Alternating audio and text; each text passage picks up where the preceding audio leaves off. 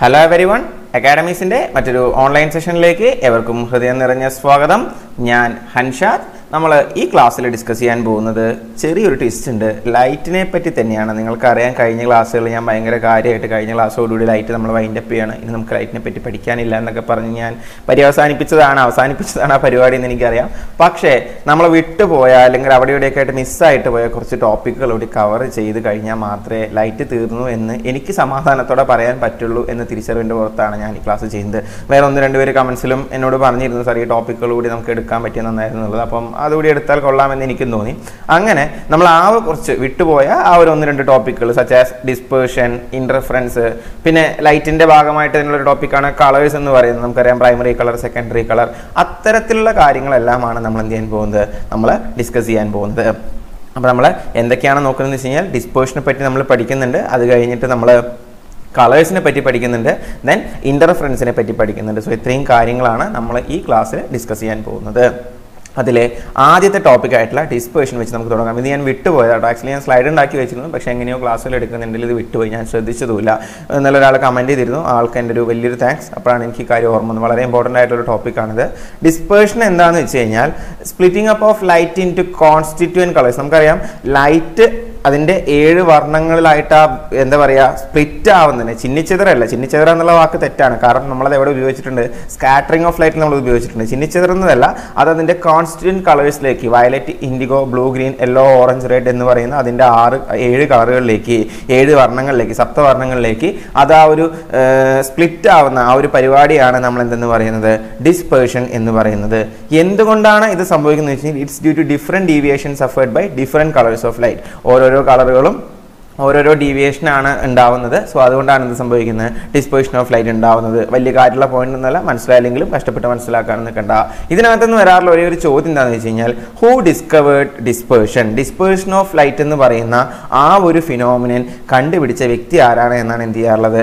എപ്പോഴും ചോദിക്കാറുള്ളത്. So dispersion of light കണ്ടുപിടിച്ച വ്യക്തി ആരാണ്? നമ്മുടെ മഹാനായ ശാസ്ത്രജ്ഞനായിട്ടുള്ള സർ ഐസക് ന്യൂട്ടൺ ആണ് ഡിസ്പേർഷൻ ഓഫ് ലൈറ്റ് കണ്ടുപിടിച്ചത്. സോ എന്തായിരുന്നു ഡിസ്പേർഷൻ ലൈറ്റ് സ്പ്ലിറ്റപ്പായി അതിന്റെ കോൺസ്റ്റന്റ് കോൺസ്റ്റന്റ് കളേഴ്സ് ഏഴ് കളേഴ്സിലേക്ക് വിബ്ജിയോർ എന്ന് പറയുന്ന ഫോർമാറ്റിൽ റെയിൻബോന്റെ കളറായിട്ടുള്ള വിബ്ജിയോർ എന്ന് പറയുന്ന ഫോർമാറ്റിലേക്ക് സ്പ്ലിറ്റ് ആവുന്ന പരിപാടിയാണ് നമ്മൾ ഡിസ്പേർഷൻ എന്ന് വിളിക്കുന്നത്. ഇത് കണ്ടുപിടിച്ചത് ആരാണ്? ഡിസ്കവർ ചെയ്തത് ആരാണ്? സർ ഐസക് ന്യൂട്ടൺ ആണ്. ഈ രണ്ട് പോയിന്റുകൾ നിങ്ങൾ ഇതിനകത്ത് നോക്കിയിരുന്നാൽ മതി. ഇനി നമുക്ക് നോക്കാനുള്ളത് റെയിൻബോയെ പറ്റിയാണ്. റെയിൻബോ എന്താണെന്ന് എല്ലാവർക്കും അറിയാം. അപ്പോൾ നമ്മൾ ഡിസ്പേഷനെ പറ്റി പറഞ്ഞപ്പോൾ ഒരു കാര്യം കൂടി നിങ്ങൾക്ക് മനസ്സിലായിട്ടുണ്ടാവും. റെയിൻബോ എന്ന് പറയുമ്പോൾ നമുക്കറിയാം ഏത് കളേഴ്സ് ഒക്കെയാണുള്ളത്. വിബ്ജിയോർ ആണുള്ളത്. അപ്പോൾ ഏഴ് നിറങ്ങളിൽ എന്തായാലും അവിടെ എന്താവുന്നുണ്ട്? സ്പ്ലിറ്റിംഗ് അപ്പ് ഉണ്ടാവുന്നുണ്ട്. So obviously rainway sorry rainway അല്ല റെയിൻബോ ഉണ്ടാവാനുള്ള ഒരു ഒരു ഫിനോമൻ കാരണം എന്ന് പറയുന്നത് എന്തായിരിക്കും? ഡിസ്പേഷൻ തന്നെയായിരിക്കും. സ്പ്ലിറ്റിംഗ് അപ്പ് ഓഫ് ലൈറ്റ് ആണ്. അല്ലെങ്കിൽ ഡിസ്പേഷൻ എന്തായാലും എന്തായിരിക്കും? ഒരു കാരണമായിരിക്കും. ഒപ്പം തന്നെ രണ്ട് കാര്യങ്ങൾ കൂടി ചേർന്നതുകൊണ്ടാണ് രണ്ട് പ്രൊസീജിയേഴ്സ് കൂടി ഉള്ളതുകൊണ്ടാണ് രണ്ട് ലൈറ്റിന്റെ ഫിനോമിനൻസ് കൂടി ഉള്ളതുകൊണ്ടാണ് എന്ത് സംഭവിക്കുന്നത്? റെയിൻബോ ഉണ്ടാകുന്നത് ഏതൊക്കെയാണ് ടി ഐ ആർ എന്താ ടി ഐ ആർ എന്ന് തിരിച്ചു ചോദിച്ചാൽ നല്ല അടി കിട്ടാത്തതിന്റെ കടാന്ന് ഞാൻ പറയാം. നമ്മൾ വളരെ ഡീറ്റെയിൽ ആയിട്ട് ഡിസ്കസ് ചെയ്ത ടോപ്പിക്കാണ് എന്തായിരുന്നു ടി ഐ ആർ ക്രിട്ടിക്കൽ ആംഗിളിനെക്കാളും കൂടുകയാണെന്നുണ്ടെങ്കിൽ മൊത്തം ലൈറ്റും തിരിച്ച് ആ മീഡിയത്തിലോട്ട് തന്നെ വരുന്ന അതിന്റെ ആ ഒരു പ്രൊസീജിയറിന്റെ പേരാണെന്ന് പറയുന്നത് ടി ഐ ആർ അഥവാ ടോട്ടൽ ഇന്റേണൽ റിഫ്ലക്ഷൻ ഒപ്റ്റിക്കൽ ഫൈബറിനെ പറ്റിയും അത് കണ്ടുപിടിച്ച നരേന്ദ്ര സിംഗ് കബാനിയെ പറ്റിയും എല്ലാം നമ്മൾ കഴിഞ്ഞ ക്ലാസ്സുകളിൽ വളരെ ഡീറ്റെയിൽ ആയിട്ട് ഡിസ്കസ് ചെയ്തതാണ്. ഒരു ഫിനോമിനും കൂടിയുണ്ട് എന്താണ് റിഫ്രാക്ഷൻ നമ്മൾ ഡോക്ടർ എവേ എന്നൊക്കെ പറഞ്ഞ് പഠിച്ചാണ് ഓർമ്മയുണ്ടാവും. Denser to rarer medium light പോകുമെന്നുണ്ടാവും bending of light ഉണ്ടാവും. അതിനെയാണ് നമ്മൾ റിഫ്രാക്ഷൻ എന്ന് വിളിക്കുന്നത്. ഡെൻസർ ടു റെയറർ ആണെങ്കിൽ എവേ ഫ്രം ദ നോർമൽ ആണ്. റെയർ ടു ഡെൻസർ ആണെങ്കിൽ it will come close to the normal ആണ്. അങ്ങനെയൊക്കെ നമ്മൾ എന്ത് ചെയ്തതാണ്? നമ്മൾ പഠിച്ചതാണ്. സോ ഒരു റെയിൻബോ ഉണ്ടാവണമെന്നുണ്ടെങ്കിൽ നമ്മൾ ഈ കാണുന്ന നേച്ചറിൽ വളരെ എന്താ പറയുക ഭംഗിയുള്ള ഒരു ഫിനോമിന ആയിട്ടുള്ള റെയിൻബോ ഉണ്ടാവണമെന്നുണ്ടെങ്കിൽ ഏഴ് നിറങ്ങളിൽ അത് സ്പ്ലിറ്റ് ആവണമെന്നുണ്ടെങ്കിൽ ഒബ്വിയസ്ലി എന്ത് നടക്കുന്നുണ്ട്? ഡിസ്പേഷൻ നടക്കുന്നുണ്ട്. ടോട്ടൽ ഇന്റേണൽ റിഫ്ലക്ഷൻ നടക്കുന്നുണ്ട്. ഒപ്പം തന്നെ എന്ത് നടക്കുന്നുണ്ട്? റിഫ്രാക്ഷൻ ഫ്രാക്ഷൻ നടക്കുന്നുണ്ട്. ഇത് എന്തുകൊണ്ടാണ് സംഭവിക്കുന്നത് ഈ മൂന്ന് ഫിനോമിനാണ് ഒബ്വിയസ്ലി ഇവിടെ ലൈറ്റ് ആണുള്ളത്. Light by the suspended water droplets water ഡ്രോപ്ലെറ്റ്സുമായിട്ട് suspended ആയിട്ടുള്ള വാട്ടർ ഡ്രോപ്ലെറ്റ്സുമായിട്ട് ലൈറ്റ് ഇത്തരം പരിപാടികൾ ഡിസ്പേഷനും ടി ഐ ആറും റിഫ്രാക്ഷനും എല്ലാം നടക്കുന്നത് കൊണ്ടാണ് എന്തുണ്ടാവുന്നത്? റെയിൻബോ എന്ന് പറയുന്ന പ്രകൃതിയിലെ വളരെ മനോഹരമായ ഒരു പ്രതിഭാസം സംഭവിക്കുന്നത്. എപ്പോഴും റെയിൻബോ ഉണ്ടാവുന്നത്? നിങ്ങൾ ശ്രദ്ധിച്ചിട്ടുണ്ടോ അറിയില്ല റെയിൻബോ എപ്പോഴും ഉണ്ടാവുന്നത് it will be in the opposite direction of sun സൂര്യന്റെ ഓപ്പോസിറ്റ് ഡയറക്ഷനിലാണ് എന്തുണ്ടാവുക? റെയിൻബോ ഉണ്ടാവുക. അതായത് നമുക്കറിയാം sun rises in the east സൂര്യൻ ഉദിക്കുന്ന എവിടെയാണ് ഈസ്റ്റിലാണ് അല്ലേ? അപ്പോൾ രാവിലെ കാലങ്ങളിലാണ് സൂര്യൻ ഉദിക്കുക. അപ്പോൾ സൂര്യന്റെ ഓപ്പോസിറ്റ് ഡയറക്ഷൻ എന്ന് പറയുമ്പോൾ റെയിൻബോ ഉണ്ടെങ്കിൽ അവിടെ തന്നെ വരിക വെസ്റ്റിലാണ് വരിക. അവിടെ തന്നെ വരുന്നത് എവിടെയാണ് വരിക? വെസ്റ്റിലാണ് വരിക. നേരെ തിരിച്ച് സൺസെറ്റ്സിന്റെ എന്താണ്? വെസ്റ്റാണ് സൺറൈസസ് ഇൻ ദ ഈ സൺസെറ്റ്സിന്റെ west L K G U K ജിയിലൊക്കെ നമ്മൾ പഠിച്ചതല്ലേ? അപ്പോൾ സൺസെറ്റ്സിന്റെ വെസ്റ്റാണ് പടിഞ്ഞാറ് അസ്തമിക്കുന്നു. അങ്ങനെയാണെങ്കിൽ സൂര്യൻ എവിടെയാണ് സോറി റെയിൻബോ എവിടെ ഉണ്ടാവുക? ഈസ്റ്റിലാണ് ഉണ്ടാവുക. അപ്പോൾ ഇത് കഴിഞ്ഞ കുറച്ച് പരീക്ഷകളിൽ ചോദ്യം വന്നിട്ടുണ്ട്.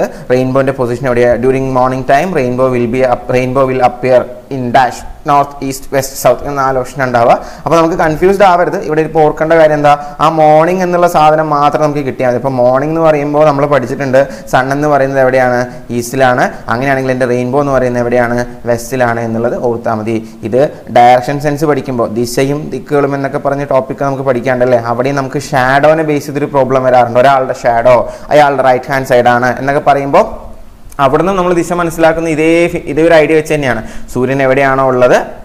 അതിന്റെ ഓപ്പോസിറ്റ് ഡയറക്ഷനാണ് എന്ത് വരുന്നത്? ഷാഡോ വരുന്നത്. അവിടെ എങ്ങനെ ചോദ്യം വരിക? One fine morning a person was sitting in a park his shadow was to his right hand side അപ്പോൾ നമുക്ക് നമുക്ക് പെട്ടെന്ന് കിട്ടണം. മോർണിംഗ് എന്ന് പറയുമ്പോൾ സൂര്യൻ ഈസ്റ്റിലാണ് അപ്പോൾ ഇയാളുടെ ഷാഡോ ഇയാളുടെ റൈറ്റ് ഹാൻഡ് സൈഡ് ആണെങ്കിൽ അപ്പോൾ എവിടെയാണുള്ളത്? ഷാഡോ വെസ്റ്റ് ആണുള്ളത് എന്നുള്ള രീതിയിൽ. അപ്പോൾ അതേപോലെ തന്നെയാണ് എന്ത് വരുന്നത്? ഈ ഒരു കേസിലും വരുന്നത്. അപ്പോൾ ഇതിനകത്തുനിന്ന് നമ്മൾ ഈ ഒരു സ്ലൈഡ് മാറ്റുമ്പോൾ ഓർക്കേണ്ടുന്ന കാര്യം എന്തൊക്കെയാണ്? റെയിൻബോ ഉണ്ടാവാൻ കാരണമാവുന്നത് ഡിസ്പേഴ്ഷൻ ഉണ്ട് ടി ഐ ആർ ഉണ്ട് ഒപ്പം തന്നെ റിഫ്രാക്ഷനും ഉണ്ട്. ഈ മൂന്ന് ഫിനോമിൻസ് ഉണ്ടാവുന്നുണ്ട്. എപ്പോഴും സൂര്യന്റെ ഓപ്പോസിറ്റ് ഡയറക്ഷനിലാണ് ആരുണ്ടാവുന്നത്? റെയിൻബോ ഉണ്ടാവുന്നത്. ഇത്രയും സെറ്റല്ലേ അടുത്തത്. ഇത് കുറച്ച് ഇമ്പോർട്ടന്റ് ആയിട്ടുള്ള എന്നാൽ കുറച്ച് കൺഫ്യൂസിംഗ് ആയിട്ടുള്ള ടോപ്പിക്കാണ് കളേഴ്സ് കളേഴ്സിനെ പറ്റിയാണ് നമുക്ക് പഠിക്കാനുള്ളത്. നമുക്കറിയാം പ്രൈമറി കളേഴ്സ് എന്ന് നമ്മൾ പറയാറുള്ളത് ആർ ജി ബി എന്നാണ്. ആർ ജി ബി എന്നാണ് നമ്മൾ എന്ത് ചെയ്യാറുള്ളത്? പ്രൈമറി കളേഴ്സ് നമ്മൾ പറയാറുള്ളത്. അതിൽ ഈ ആർ ജി ബി എന്തൊക്കെയാണ്? ആർ സ്റ്റാൻഡ്സ് ഫോർ റെഡ് ആണ്. റെഡ് ആണ്. ജി എന്താണ്? ജി സ്റ്റാൻഡ്സ് ഫോർ ഗ്രീൻ ആണ്. And B stands for blue ആണ്. സോ ആർ ജി ബി എന്ന് പറയുന്ന പ്രൈമറി കളേഴ്സ് മൂന്നെണ്ണമാണ് ഏതൊക്കെയാണ്? റെഡും ഗ്രീനും ബ്ലൂ ആണ്. സോ സ്വാഭാവികമായിട്ടും ഒരു സംശയം വരാം. എന്തുകൊണ്ടാണ് ഇവരെ നമ്മൾ പ്രൈമറി കളേഴ്സ് എന്ന് വിളിക്കുന്നത്? എന്താണ് അതിന് മാത്രം ഇവർക്കുള്ള പ്രത്യേകത എന്ന് ചോദിച്ചു കഴിഞ്ഞാൽ അതിന്റെ ഉത്തരം വളരെ സിമ്പിളാണ് അവരത് അർഹിക്കുന്നത് കൊണ്ട് തന്നെയാണ് അവർ വിളിക്കുന്നത്.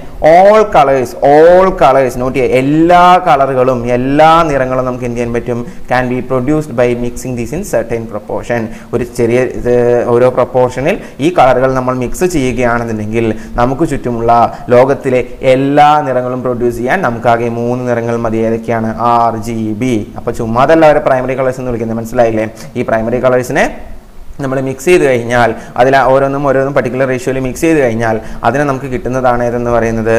അതിന് അങ്ങനെ നമുക്ക് പ്രൊഡ്യൂസ് ചെയ്യാൻ പറ്റുന്നതാണ് എന്തെന്ന് പറയുന്നത്? നമ്മുടെ ചുറ്റുമുള്ള എല്ലാ നിറങ്ങളും. അതുകൊണ്ട് നമ്മളതിനെ പ്രൈമറി കളേഴ്സ് എന്ന് പറയുന്നു. ഇനി ഇതിനോടൊപ്പം പഠിക്കേണ്ട മറ്റൊരു വാക്കാണ് സെക്കൻഡറി കളേഴ്സ് എന്താണ് സെക്കൻഡറി കളേഴ്സ് എന്ന് ചോദിച്ചു കഴിഞ്ഞാൽ it's a colours produce by mixing any two primary colours ഏതെങ്കിലും രണ്ട് പ്രൈമറി കളേഴ്സ് നമ്മൾ പ്രൊഡ്യൂസ് ചെയ്ത് കഴിഞ്ഞാൽ അപ്പോൾ നമുക്ക് നിൽക്കുന്ന? നമുക്ക് ലഭിക്കുന്ന നിറം എന്താണോ? അതിനെയാണ് നമ്മൾ. എന്തെന്ന് പറയുന്നത്? സെക്കൻഡറി കളേഴ്സ് എന്ന് പറയുന്നത്. അത് ഏതൊക്കെയാണ് സെക്കൻഡറി കളേഴ്സ് എന്ന് പറയുന്നത്. യെല്ലോ മജന്ത സയാൻ ഈ മൂന്ന് നിറങ്ങളാണ്. Y M C Y M C എന്ന് പറഞ്ഞൊരു യങ് മെൻസ് ക്രിസ്ത്യൻ അസോസിയേഷൻ എന്ന് പറഞ്ഞൊരു ഓർഗനൈസേഷൻ ഒക്കെ ഉണ്ട്. നിങ്ങൾ വൈ എം സി ഹോസ്റ്റലിനൊക്കെ ചിലപ്പോൾ കേട്ടിട്ടുണ്ടാവും. ഞാനിത് അങ്ങനെയാണ് ഓർത്തു വെച്ചിരിക്കുന്നത് വൈ എം സി എന്ന് ഓർത്താൽ മതി. Yellow magenta cyan obviously Y yellow ആണെന്നും എം മജന്തയാണെന്നും സി സിയാൻ ആണെന്നും നമുക്ക് അറിയാൻ പറ്റണം നമുക്കറിയണം. എന്നാൽ ഈ കോഡ് കൊണ്ട് കാര്യമുള്ളൂ. ഓർത്തിരിക്കുക. Primary colours R G B ആണ്. അതെല്ലാവർക്കും അറിയാം. അപ്പോൾ അതിനെപ്പറ്റി ഞാൻ പറയേണ്ട കാര്യമില്ല. അതിനോടൊപ്പം തന്നെ വൈ എം സി എന്ന് ഓർത്തു കഴിഞ്ഞാൽ യെല്ലോ മജന്ത സിയാൻ എന്ന് പറയുന്ന സെക്കൻഡറി കളേഴ്സ് നമുക്ക് കിട്ടും. ഈ സെക്കൻഡറി കളേഴ്സ് നമുക്ക് കിട്ടാനായിട്ട് ഏതെങ്കിലും രണ്ട് പ്രൈമറി പ്രൈമറി കളേഴ്സിന് ഏതെങ്കിലും രണ്ട് കിട്ടും ഏതെങ്കിലും രണ്ട് പ്രൈമറി കളേഴ്സിനെ നമ്മൾ മിക്സ് ചെയ്യുകയാണ് വേണ്ടത്. അപ്പോൾ ഇതിന് നമുക്ക് ഈ സെക്കൻഡറി കളേഴ്സ് കിട്ടുന്നത് ഏതൊക്കെ കോമ്പിനേഷനിലാണ് എന്നുള്ളത് നോക്കാം. ഗ്രീനും റെഡും കൂടി മിക്സ് ചെയ്ത് നമുക്ക് എന്ത് കിട്ടും? യെല്ലോ കിട്ടും. ഗ്രീനും റെഡും കൂടി മിക്സ് ചെയ്ത് യെല്ലോ കിട്ടും. റെഡും ബ്ലൂവും കൂടി മിക്സ് ചെയ്ത് കഴിഞ്ഞാൽ നമുക്ക് മജന്ത കിട്ടും. ബ്ലൂവും ഗ്രീനും കൂടി മിക്സ് ചെയ്ത് കഴിഞ്ഞാൽ നമുക്ക് എന്ത് കിട്ടും? സിയാനും കിട്ടും. സോ ഇതാണ് മൂന്ന് നിറങ്ങൾ ഇത് ഞാൻ ജസ്റ്റ് എന്റെ കോഡ് ചിലപ്പോൾ അത്ര എളുപ്പമായിട്ട് തോന്നണമെന്നില്ല. എനിക്ക് പഠിക്കാൻ വേണ്ടി ഞാൻ ഉണ്ടാക്കിയ ഒരു സാധനമാണ്. എത്രത്തോളം നല്ലതാണെന്ന് എനിക്കറിയില്ല. ഞാനിത് ഓർത്തത് G R small letter E Y grey എന്നാണ്. ഗ്രേ എന്ന് പറയുന്ന കളർ നമ്മൾ പറയാറില്ല. ആ ഗ്രേ എന്നുള്ള വാക്ക് വെച്ച് ഞാനത് കൊടുത്തു. അതിനർത്ഥം എന്താ? ഗ്രീനും റെഡും കൂടി മിക്സ് ചെയ്ത് കഴിഞ്ഞാൽ എനിക്ക് എന്ത് കിട്ടണം? യെല്ലോ കിട്ടണം. നല്ലതാണെങ്കിൽ എടുക്കാം. അല്ലെങ്കിൽ നിങ്ങൾക്ക് നല്ല നല്ല കോഡുകൾ ഉണ്ടെങ്കിൽ എനിക്ക് കമന്റ് സെക്ഷനിൽ പറഞ്ഞിട്ട് വളരെ രസകരമായിട്ടുള്ള വളരെ നല്ല കോഡുകൾ എനിക്ക് നിങ്ങളുടെ ഭാഗത്ത് നിന്ന് ഇപ്പോൾ കമന്റ് സെക്ഷനിൽ കിട്ടുന്നുണ്ട്. ഒരുപാട് സന്തോഷമുണ്ട്. പലതും ഞാനിപ്പോൾ അപ്ഡേറ്റ് ചെയ്തു. കാരണം അത്രയും രസകരമായിട്ടുള്ള കോഡുകളാണ് ഭയങ്കര ഈസി ആയിട്ട് ഓർത്തിരിക്കാൻ പറ്റും നിങ്ങൾ നോക്കും നിങ്ങൾ പറയുന്നത്. അപ്പോൾ ആ രീതിയിൽ നിങ്ങൾക്കും നിങ്ങളും പഠിക്കുന്നതെന്ന് പറയുമ്പോൾ എനിക്ക് സത്യം പറഞ്ഞാൽ നല്ല സന്തോഷമുണ്ട്. അതുപോലെ തന്നെ R B M R B M എന്നാണ് ഞാൻ ഓർത്ത് വെച്ചിരിക്കുന്നത് റെഡും ബ്ലൂവും കൂടി ചേർന്ന് കഴിഞ്ഞാൽ ഏതാ വരുന്നത്? മജന്തയാണ് വരുന്നത് ആർ ബി എം ഇത് വേണമെങ്കിൽ നിങ്ങൾക്കൊന്ന് തിരിച്ച് B R small letter a Bram എന്ന് ഓർത്തേക്കാം. ബ്രാം എന്ന് പറയുമ്പോൾ നിങ്ങൾ കേട്ടിട്ടുണ്ടാവും. നമ്മുടെ വിശ്വവിഖ്യാതമായ ഡ്രാക്കുള എന്ന നോവൽ എഴുതിയ ആളുടെ പേരാണ് ബ്രാം സ്റ്റോക്കർ എന്ന് പറയുന്നത്. അതൊരു ചോദ്യമാണ്. ഡ്രാക്കുള എന്ന് പറയുന്ന എല്ലാവർക്കും അറിയുന്നതാണല്ലോ ക്യാരക്ടറെ പറ്റി ഞാൻ പറയണ്ടല്ലോ. ആ ഡ്രാക്കുള എന്ന് പറയുന്ന നോവൽ എഴുതിയ വ്യക്തിയാണ് ബ്രാം സ്റ്റോക്കർ എന്ന് പറയുന്നത് അദ്ദേഹത്തിന്റെ ഫസ്റ്റ് നെയിം ആണ് ഇവിടെ എന്നെ സഹായിച്ചത്. ബ്രാം എന്ന് ഓർത്തു കഴിഞ്ഞാൽ ബ്ലൂവും റെഡും എ നോക്കണ്ട. എം എന്തിനാവുന്നു? മജന്താന്നും വരുന്നു. ആൻഡ് ഫൈനലി ബ്ലൂവും ഗ്രീനും കൂടി ചേർന്ന് കഴിഞ്ഞാൽ സിയാൻ ബി ജി സി ഇതിന് പ്രത്യേകിച്ച് എനിക്കൊന്നും കിട്ടിയില്ല. നിങ്ങൾക്ക് നല്ലതുപോലെ കിട്ടുകയാണെങ്കിൽ നിങ്ങൾ എനിക്ക് പറയാം ബ്ലൂവും ഗ്രീനും കൂടി ചേർന്ന് കഴിഞ്ഞാൽ സിയാൻ ഞാൻ ബാക്കിയുള്ളത് അല്ലെങ്കിൽ ഇതിന്റെ കോമ്പിനേഷൻ എന്നുള്ള രീതിയിലൊക്കെ ഞാൻ ഓർത്ത് വെച്ചിരുന്നത്. ബ്ലൂവും ഗ്രീനും കൂടി ചേർന്ന് എന്ത് വരും? സിയാൻ എന്ന കളറാണ് നമുക്ക് കിട്ടുന്നത്. അപ്പോൾ നമ്മൾ എന്തൊക്കെയാണ് ഈ ഒരു സ്ലൈഡിൽ പഠിച്ചത്? പ്രൈമറി കളേഴ്സ് മൂന്നാണ് റെഡ് ഗ്രീൻ ബ്ലൂ ആണ്. പ്രൈമറി കളേഴ്സിനെ ഏതെങ്കിലും റേഷ്യോയിൽ ഏതെങ്കിലും പ്രൊപ്പോർഷനിൽ മിക്സ് ചെയ്ത് കഴിഞ്ഞാൽ നമുക്ക് എല്ലാ കളറുകളും പ്രൊഡ്യൂസ് ചെയ്യാൻ കഴിയും. അതുകൊണ്ട് നമ്മൾ അവരെ പ്രൈമറി കളേഴ്സ് എന്ന് വിളിക്കുന്നു. ഇനി ഏതെങ്കിലും രണ്ട് പ്രൈമറി കളേഴ്സ് മിക്സ് ചെയ്ത് പ്രൊഡ്യൂസ് ചെയ്യുകയെ നമ്മൾ സെക്കൻഡറി കളേഴ്സ് എന്ന് വിളിക്കുന്നു. പിന്നെ അതിന്റെ കോമ്പിനേഷൻ എല്ലാം ചോദ്യങ്ങളാണ് കേട്ടോ secondary കളേഴ്സിന് colours produce by mixing any two primary colours are called dash എന്ന് പറഞ്ഞ ഒരു ചോദ്യം വന്നിട്ടുണ്ട്. ഏതൊക്കെയാണ് പ്രൈമറി കളേഴ്സ് എന്നും ഏതൊക്കെയാണ് സെക്കൻഡറി കളേഴ്സ് എന്നും ഡയറക്റ്റായിട്ട് ചോദിച്ചിട്ടുള്ള ചോദ്യങ്ങൾ കുറവാണ്. പക്ഷെ എന്ത് വന്നിട്ടുണ്ട്? ഈ കോമ്പിനേഷൻ വളരെ ഫ്രീക്വന്റ് ആയിട്ട് എന്ത് ചെയ്യാറുണ്ട്? ചോദിക്കാറുണ്ട്. ഗ്രീനും റെഡും മിക്സ് ചെയ്താൽ എന്ത് കളർ വരും? റെഡും ബ്ലൂവും മിക്സ് ചെയ്താൽ എന്ത് കളർ വരും എന്നുള്ളത് ചോദിക്കാറുണ്ട്. അപ്പോൾ നമ്മുടെ കോഡുകൾ ഇതൊക്കെയാണ് നമ്മൾ പറഞ്ഞത്. ഗ്രേ എന്ന് ഓർത്തിരിക്കുക സോ ഗ്രീനും റെഡും സ്മോൾ ലെറ്റർ ഈ യെല്ലോ വരും. രണ്ടാമത്തെ ബ്രാം എന്ന് ഓർത്തിരിക്കുക ബ്ലൂവും അതുപോലെ തന്നെ റെഡും എ സ്മോൾ ലെറ്റർ ആക്കി എഴുതുന്നു മജന്ത കിട്ടും. ആൻഡ് ഫൈനലി അതിന്റെ കോഡ് നിങ്ങൾ എനിക്ക് പറഞ്ഞാലും ബി ജി സി എന്ന് ഓർത്തിരിക്കുക ഞാൻ ഇല്ലാത്ത കളറുകൾ എന്നാണ് ഞാൻ ആലോചിച്ചിരിക്കുന്നത്. രണ്ടിലും ഇല്ലാത്ത ആ ഒരു രീതിയിൽ ഓർത്തെടുത്താൽ മതി. ബ്ലൂവും ഗ്രീനും കൂടി സിയാനും കിട്ടും. കളേഴ്സിനെ പറ്റി പറയുമ്പോൾ ഇനി നമുക്ക് അതുപോലെ തന്നെ മറ്റൊരു ഡെഫിനേഷനാണ് ഇമ്പോർട്ടന്റ് ആയിട്ടുള്ളത് കോംപ്ലിമെന്ററി കളേഴ്സ് എന്തിനാണ് നമ്മൾ കോംപ്ലിമെന്ററി കളേഴ്സ് എന്ന് പറയുന്നത്? Any two colours when added produce white light are set to be complementary colours രണ്ട് നിറങ്ങൾ ചേരുമ്പോൾ രണ്ട് വർണങ്ങൾ ചേരുമ്പോൾ രണ്ട് കളറുകൾ കൂടി ചേരുമ്പോൾ പ്രൊഡ്യൂസ് ചെയ്യപ്പെടുന്ന കളർ വൈറ്റ് ആണെങ്കിൽ അത്തരം നിറങ്ങളെ നമ്മൾ എന്ത് കളറുകൾ എന്ന് പറയും? കോംപ്ലിമെന്ററി കളറുകൾ എന്ന് പറയും. ദേ ഇവിടെ ശ്രദ്ധിക്കേണ്ട ഒരു പോയിന്റ് ഉണ്ട്. റെഡിന്റെയും ഗ്രീനിന്റെയും ബ്ലൂവിന്റെയും കോമ്പിനേഷൻ എന്താണ്? വൈറ്റ് ആണ്. അതുകൊണ്ടാണ് നേരത്തെ എടുത്തു പറഞ്ഞ രണ്ട് കളറുകൾ എന്ന് ഞാൻ പറഞ്ഞത്. പ്രൈമറി കളേഴ്സിൽ ഏതെങ്കിലും രണ്ടെണ്ണം മിക്സ് ചെയ്യുമ്പോൾ കിട്ടുന്നതിനെയാണ് നമ്മൾ എന്തെന്ന് പറയുന്നത്? സെക്കൻഡറി കളേഴ്സ് എന്ന് പറയുന്നത്. അതിന് പകരം ചിലപ്പോൾ ചോദ്യം ഇങ്ങനെയായിരിക്കാം. പ്രൈമറി കളേഴ്സ് എല്ലാം കൂടി മിക്സ് ചെയ്ത് കഴിഞ്ഞാൽ എന്ത് കിട്ടുമെന്ന് ചോദിച്ചാൽ നിങ്ങൾ കോംപ്ലിമെന്ററി കളേഴ്സ് കിട്ടുമെന്ന് പറഞ്ഞാൽ അത് തെറ്റാണ്. വ്യത്യാസം മനസ്സിലായില്ലേ? എല്ലാ പ്രൈമറി കളറുകളും മിക്സ് ചെയ്യുമ്പോൾ നമുക്ക് കിട്ടുന്ന നിറം എന്ന് പറയുന്നത് വൈറ്റ് ആണ്. പക്ഷേ ഏതെങ്കിലും രണ്ടെണ്ണം എടുത്ത് മിക്സ് ചെയ്ത് കഴിഞ്ഞാൽ കിട്ടുന്നത് ഏതാണെന്ന് നമ്മൾ പറഞ്ഞു. ഏതാ? ആറും ജിയും കൂടി ചേർന്ന ഗ്രേ എന്ന് ഓർത്ത് അല്ലേ? ഗ്രീനും റെഡും അപ്പോൾ ഏത് കിട്ടണം? യെല്ലോ കിട്ടണം. സോ ഇങ്ങനെയാണ് പ്രൈമറി കളേഴ്സും സെക്കൻഡറി കളേഴ്സും കോംപ്ലിമെന്ററി കളേഴ്സും നമ്മൾ പഠിക്കുന്നത്. സോ ഒബ്വിയസ്ലി ഇപ്പോൾ ഈ പറഞ്ഞ പോയിന്റ് എന്ന് പറയുന്നത് എല്ലാ പ്രൈമറി കളേഴ്സും ചേർന്ന് കഴിഞ്ഞാൽ നമുക്ക് എന്ത് കിട്ടുന്ന പറഞ്ഞേ? വൈറ്റ് കിട്ടുന്ന പറഞ്ഞ്. ഒപ്പം ഓർക്കേണ്ട ഒരു പോയിന്റാണ് a secondary colours and the റിമൈ a secondary colour and the remaining primary colour are complementary colours ഒരു സെക്കൻഡറി കളറും ബാക്കിയുള്ള പ്രൈമറി കളറും ചേർന്ന് കഴിഞ്ഞാൽ എന്ത് കിട്ടും? കോംപ്ലിമെന്ററി കളർ കിട്ടും. ഒന്ന് ആലോചിച്ചാൽ ആ പറഞ്ഞതിന്റെ അർത്ഥം എന്താണെന്ന് മനസ്സിലാവും. നിങ്ങൾ ഇവിടെ നോക്ക്. നമുക്കറിയാം റെഡും ഗ്രീനും യെല്ലോ ആണ്. റെഡും ബ്ലൂ നമ്മൾ ഓൾറെഡി പഠിച്ചാണല്ലേ അപ്പോൾ ഈ പോയിന്റ് അറിയാം. ഇത് നമ്മൾ സെക്കൻഡറി കളറുകൾ മിക്സ് ചെയ്യുക. യെല്ലോ യെല്ലോ ഇവിടെ ഉണ്ട്. യെല്ലോന്റെ കൂടെ ഞാൻ എന്താ മിക്സ് ചെയ്യുന്നത് ബ്ലൂ ആണ്. അപ്പോൾ ബേസിക്കലി എനിക്കറിയാം യെല്ലോ എന്ന് പറയുന്നത് റെഡും ഗ്രീനും ആണെന്ന് അറിയാം. അപ്പോൾ റെഡും ആയി ഗ്രീനും ആയി ഇവിടെ ഞാൻ എന്താ മിക്സ് ചെയ്യുന്നത് ബ്ലൂ ആണ്. അപ്പോൾ ഈ റെഡും ഗ്രീനും ബ്ലൂ എന്ന് പറയുന്നത് എന്താ? പ്രൈമറി കളേഴ്സ് ആണ്. അങ്ങനെയാണെങ്കിൽ എനിക്കിവിടെ എന്താ കിട്ടണ്ടേ? വൈറ്റ് കിട്ടണം അല്ലേ?